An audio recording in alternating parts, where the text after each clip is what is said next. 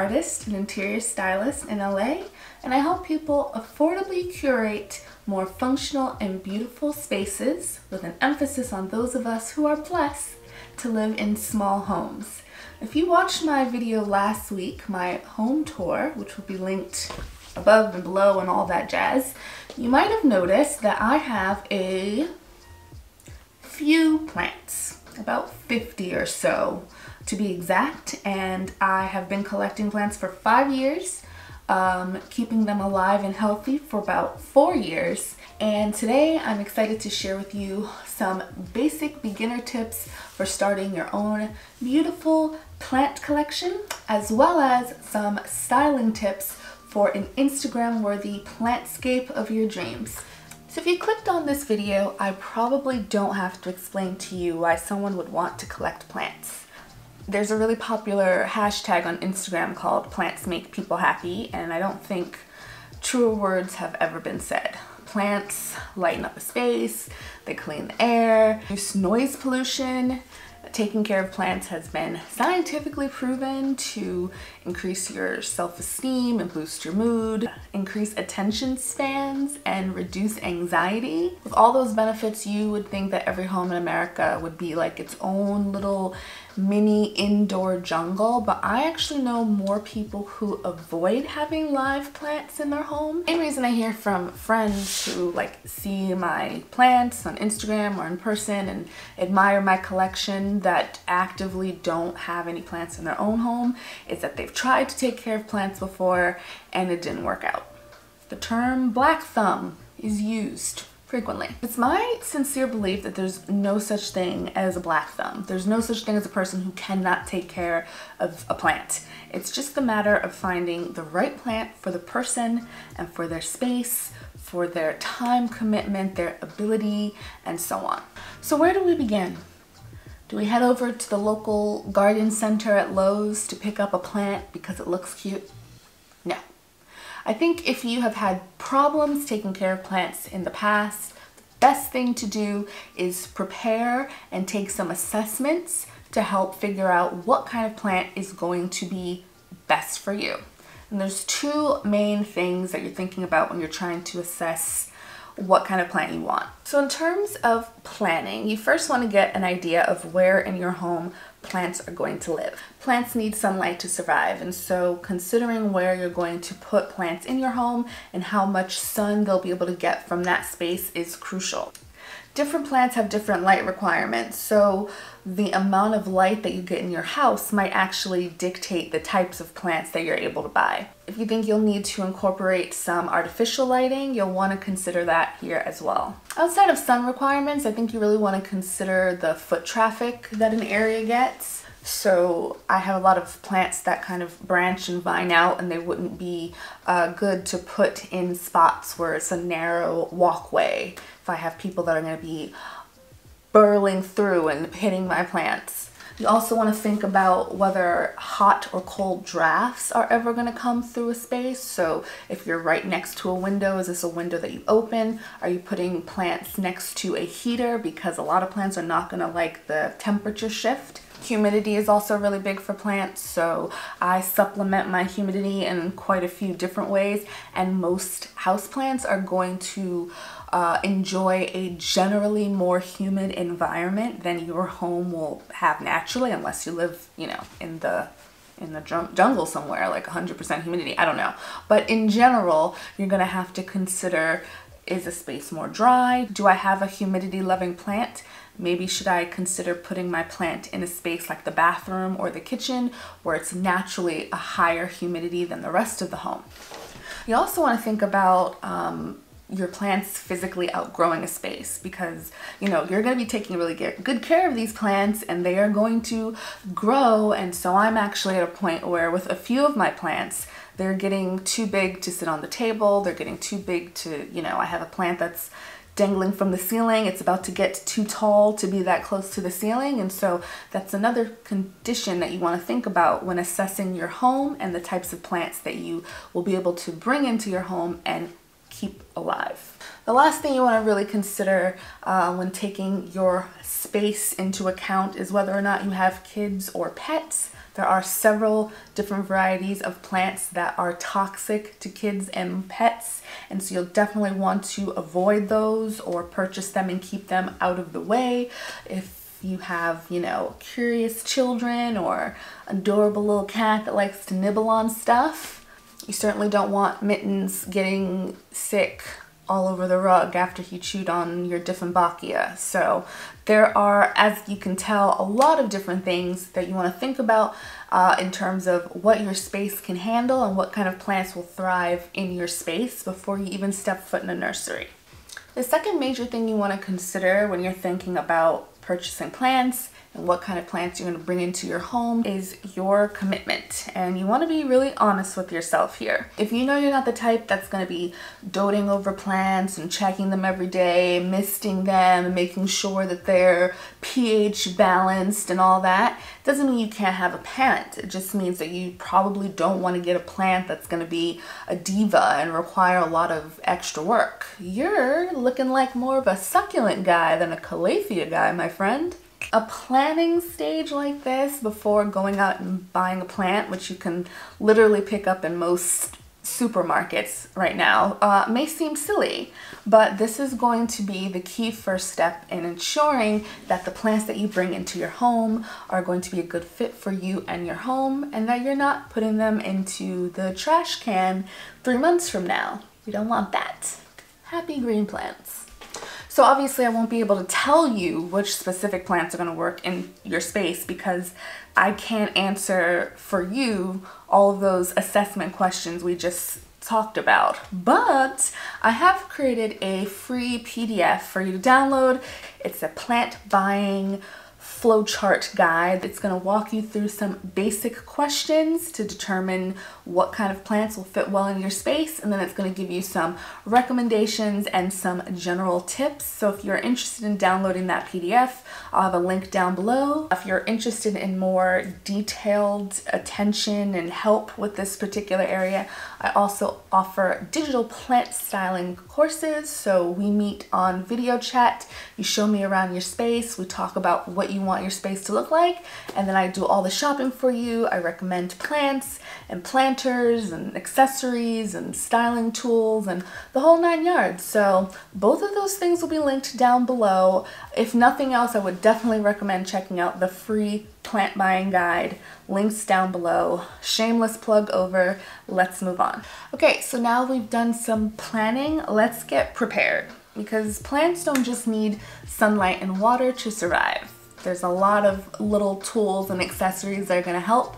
And the longer that you are collecting plants, the larger and more eclectic that your plant accessories collection is going to grow.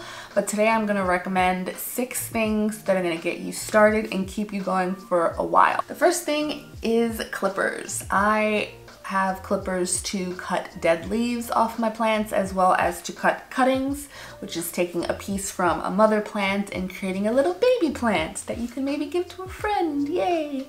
So I have two cutters on hand all the time, one for most of my basic plants and then one to cut anything heavier, um, mainly tree branches and other things that I bring into the house, but if I ever need to cut maybe a leaf off my Monstera or something, the heavier clippers are gonna come in handy for that. Next up is a water meter. Uh, we are literally overwatering our plants to death. Most house plants die from being overwatered as opposed to being underwatered. And if you've had this problem before, using a water meter is going to help you check the moisture in your soil before you water to make sure that you are not killing your plants with the kindness water. The next thing you're gonna need is fertilizer. And fertilizer is used to replenish the nutrients in your plant soil. It's gonna help them grow and thrive. I use fish fertilizer. It smells horrible, but it's natural and I've not had any issues with causing leaf burns on my plants, which can happen sometimes when you use a really nitrogen rich uh, commercial fertilizer. Next items are watering cans and spray bottles. These should be quite obvious. I do keep extra water for my plants in just plastic jugs behind the couch so that the water is room temperature when I go to water my plants. But I prefer to use these decorative watering cans to actually water my plants. They're just easier to hold and maneuver. I also mist my plants like literally two to three times a day. It's kind of obsessive. So I like to have decorative spray bottles spread all around the apartment so that I can always grab a spray bottle and take care of one of my plant babies. Next up is neem oil, which is my favorite dual purpose plant item. The main purpose is pest control. And I also like to use neem oil to condition my plants and give them a little shine while getting rid of extra dust. The last thing you're gonna need for your plant collection is soil. So when you buy a plant from a nursery or get it online, after it acclimates to your house for a little while, you're gonna wanna transfer it into a new pot. Uh, you're also going to be taking such good care of your plants that they're going to be outgrowing their pots and you're going to need to replant them in a couple of years. So you can start with a really good quality organic potting mix you can buy from any garden center. Uh, you can also mix your own soil. Typically it's a mixture of a base. I use sphagnum moss and peat moss. You're also gonna wanna add some kind of fertilizer. I use worm castings and then some kind of draining element. I'm currently using perlite. Different plants will require different ratios of those sorts of things. Cactuses are obviously gonna like something that's coarser and that dries more quickly. So this isn't at all an exhaustive list. I have so many more accessories and tools and plant tchotchkes than I care to admit. But these six items are going to get you started and going to keep you going with your burgeoning plant collection so you don't have to invest much more outside of the things that I've just mentioned. So now we've taken stock of your space and your level of commitment. Got your water meter and your neem oil coming today, Amazon Prime shipping and you've already downloaded my plant buying guide and determined that you are going to be investing in a snake plant and an African violet for your first go. It's time to start thinking about styling and bringing everything all together. So I always consider the plants first and styling second. Doesn't matter how good your plants look if your space won't keep them alive. dead plants are not sexy. So there definitely are people who will style plants in sub-optimum conditions or move them back and forth to kind of prolong them. But I am really of the idea that you can make any plant and any collection of plants look really good in your space. So I don't want to sacrifice the health of my plant collection for an aesthetic. So plant care is pretty universal, but plant styling is gonna vary greatly between different people based on their own personal style and their interior style sensibilities. Someone who has a, a minimalist aesthetic or rustic farmhouse chic isn't going to style plants the way that I do in my home. So I'm gonna use my bathroom as an example and show you some of the steps that I take when I'm thinking about how to style a space and other things that I wanna incorporate in addition to the plants. And I'm hoping that some of these tips are going to be basic enough for you to use and incorporate them when you're styling your own space. So the first thing you're gonna consider is any furniture that your plants are gonna be sitting on. I like the idea of having plants grouped all together on the floor in like a recessed corner of your house, but outside of that, I generally prefer to keep plants off the ground either in a plant stand or on some sort of table or other elevated surface.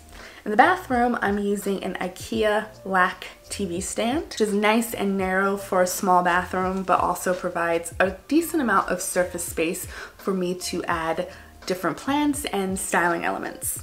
Next to your plants, the item that's going to be getting the most attention in your plantscape are the planters and pots that your plants are actually sitting in. I always like to have a mix of different styles of planters on my table, usually one or two ceramic planters, and that's made of plastic, stone, or concrete, or other natural sort of elements. I've seen some really cool metallic gold finish planters and some live edge like wood cut planters. Uh, I like to use my spray bottles and watering cans as decor items. Kind of makes sense to have those next to the plants that they take care of. The great thing about the watering cans is that in addition to adding a little bit of visual interest, you can leave them filled with water that will evaporate and give your plants some extra humidity. Lastly, you're gonna finish out your space with some decorative items that relate to the space. So in the bathroom, I decorated the lower shelf of my plant table with a tray that has some toilet paper for guest use. I also like to keep a little oil diffuser on the plant table in the bathroom to help with the bathroom aromas. I then have some decorative items that are in line with the general theme of my bathroom, which is Asia, sort of. I've got these knickknacks from my travels in Asia kind of displayed here, as well as some things that kind of remind me of Asian culture and aesthetic. So we've got this fantastic foundation built and it's finally time to add the house on top, the plants. I like to go for a diverse range of plants that will fit into those plants that will actually live and survive and thrive in my home that we've already talked about. And when I'm looking at diversity in plants, I'm kind of looking at a couple different areas. So first off is plant size, which is an obvious one. I like to tail end a table with two really tall plants and then kind of have smaller plants in the middle and kind of on the perimeter of those two. I also really like putting um, taller kind of narrow plants next to plants that are big and wide and more bushy like. The next thing I look at is a diversity in leaf color. I have plants with deep green leaves, neon green, plants with green variegation, plants with white variegation, stripes polka dots and purple undersides and the whole nine yards. Even before you consider the fact that a lot of plants, if taken care of, will actually flower, you can find a insanely diverse range of just green plants to stagger throughout your plantscape. Next area of diversity that we're searching for is leaf shape and this one is so fun because plants come in so many different shapes there are fan-shaped leaves, circle-shaped leaves. I have a horsehead philodendron that is aptly named. There's a cactus called the booby cactus. Booby cactus. Again, we have kind of filtered ourselves down to plants that we know we're going to be able to take care of and that are going to be able to thrive in the conditions that our home offers. But there's still so many plants to choose from even amongst that smaller pool and I definitely encourage you to find the widest range of crazy weird leaf shapes sizes and colors that you can find because that is just going to make your plantscape, that view, that Instagram photo that you're hoping to take that much more glorious. That's it folks, you've made it to the end of the video and if you have, I appreciate you so much. I would love to know what your current relationship with plants is. Are you a successful plant parent with a stunning lush greenscape to show for it? Struggling parent? reformed black thumb looking to start anew, I'd love to know. Uh, don't forget to download the free plant buying guide that I have linked in the description box if you are looking for some help in figuring out what kind of plant might be right for you and your home. I also hope you'll join me next Wednesday when we're going to be discussing styling by vantage point what that is and how it's going to help you achieve a stunning cohesive style in your home. Until next time, guys, me and my plants say goodbye.